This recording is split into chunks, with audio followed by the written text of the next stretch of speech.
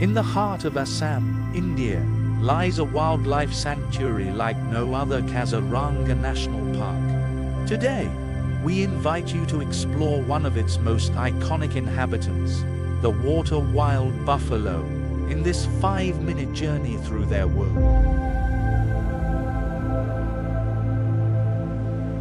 Amidst the vibrant greenery of Kaziranga, herds of water buffalo find their sanctuary.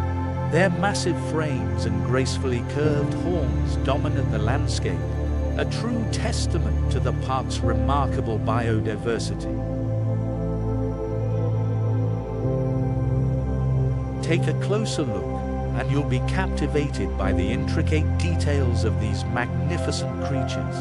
Their expressive eyes seem to hold stories of survival in a landscape teeming with life.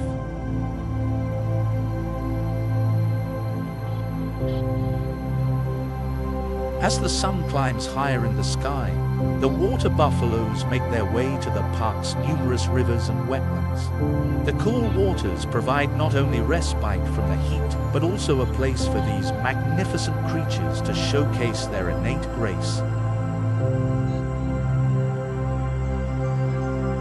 Watch as they immerse themselves in the flowing rivers, splashing and frolicking like carefree giants. It's a sight that embodies the harmony of nature, a rhythm that defines life in Kaziranga. Among the herds, the younger generation plays by the riverbanks. Their innocence and exuberance are heartwarming sight. They represent the future of these remarkable water buffalo, ensuring their lineage continues.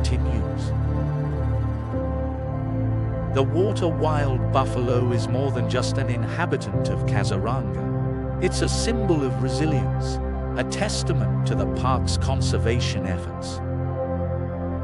Behind the scenes, dedicated park rangers and conservationists tirelessly work to protect these magnificent creatures and their habitat. Their unwavering commitment ensures that future generations can experience the beauty of Kaziranga